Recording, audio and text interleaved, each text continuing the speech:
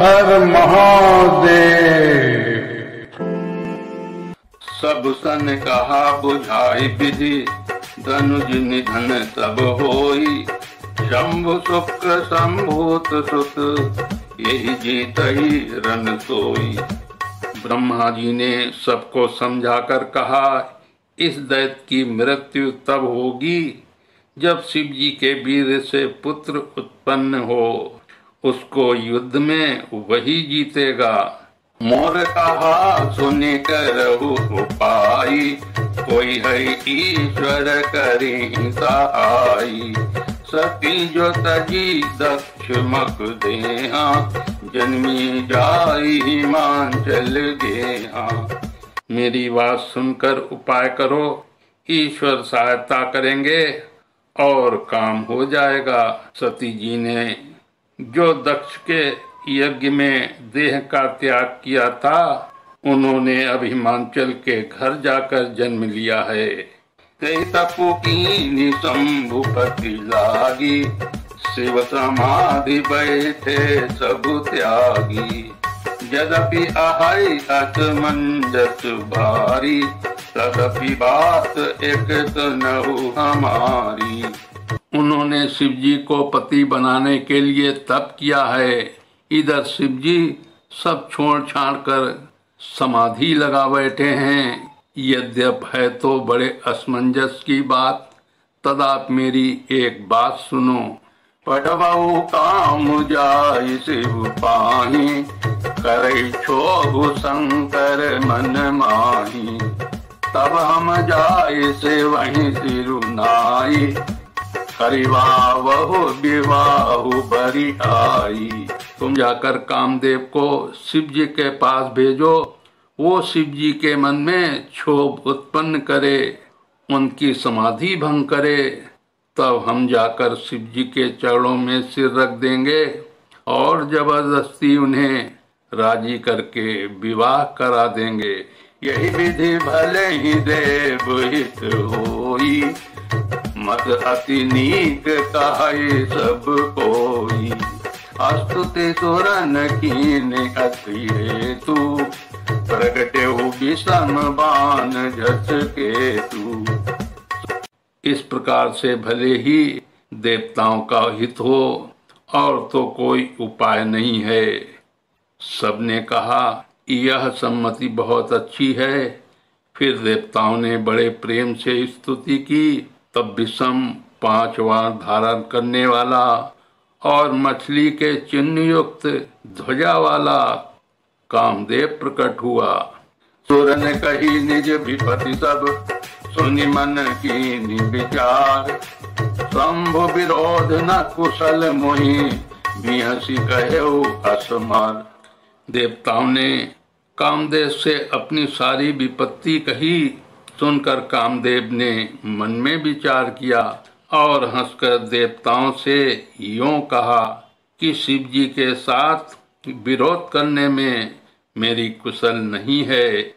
तदपि करब मैं काज तुम्हारा, श्रुति कह परम धर्म उपकारा।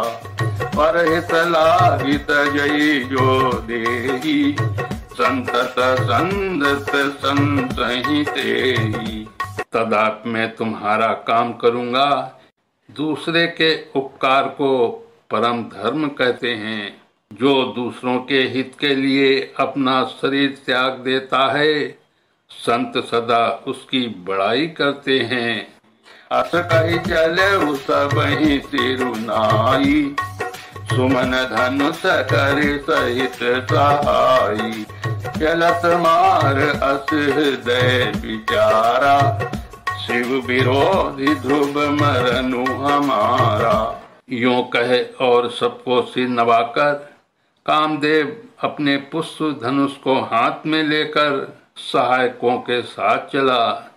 चलते समय कामदेव ने हृदय में ऐसा विचारा कि शिव जी के साथ विरोध करने से मेरा मरण निश्चित है। तब आपन प्रभाव विस्तारा। निज बस की सकल संसारा। ओ पेहु जब ही बारी चर के तू क्षण महु मिटे सकल श्रुति से तू तब उसने अपना प्रभाव फैलाया और समस्त संसार को अपने बस में कर लिया। जिस समय उस मछली के चिन्ह को ध्वजा वाले कामदेव ने कोप किया।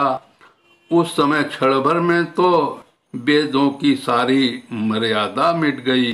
ब्रह्मचर्य व्रत संयम नाना, धीरज धर्म ज्ञान विज्ञाना।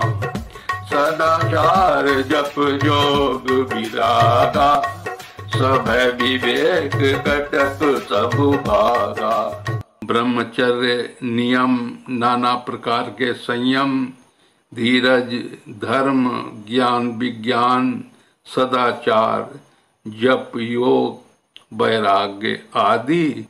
विवेक की सारी सेना डर कर भाग गई। आगे विवेक सहाय सहित तो सुभट संयुग महिमुरे सदग्रंथ पर्वत कंधर निमहु जाई कई अवसर दुरे। का कर तार हो। रखवार जग कर बरु परा। दुई मात के ही रतिनाथ जय कहूँ ओपी कर धन सर्व धरा। विवेक अपने सहायकों सहित भाग गया। उसके योद्धा रणभूमि में पीठ दिखा गए। उस समय वे सब सदग्रंथ रूपी पर्वत की कंदराओं में जा छिपे, अर्थात ज्ञान, वैराग्य, संयम, नियम, सदाचार आदि ग्रंथों में ही लिखे रह गए, उनका आचरण छूट गया। सारे जगत में खलबली मच गई और सब कहने लगे, हे विदाता अब क्या होने वाला है? हमारी रक्षा कौन करेगा? ऐसा सिर वाला कौन है जिसके लिए रति के पति कामदेव ने कोप करके हाथ में धनुष बाण उठाया है? ये सजीव जग अचर चर, नारी पुरुष कस नाम। ते निज निज मर जाद तजी भय सकल बस काम। जगत में स्त्री पुरुष संज्ञा वाले जितने चर अचर प्राणी थे वे सब अपनी अपनी मर्यादा छोड़कर काम के वश हो गए। हर हर महादेव।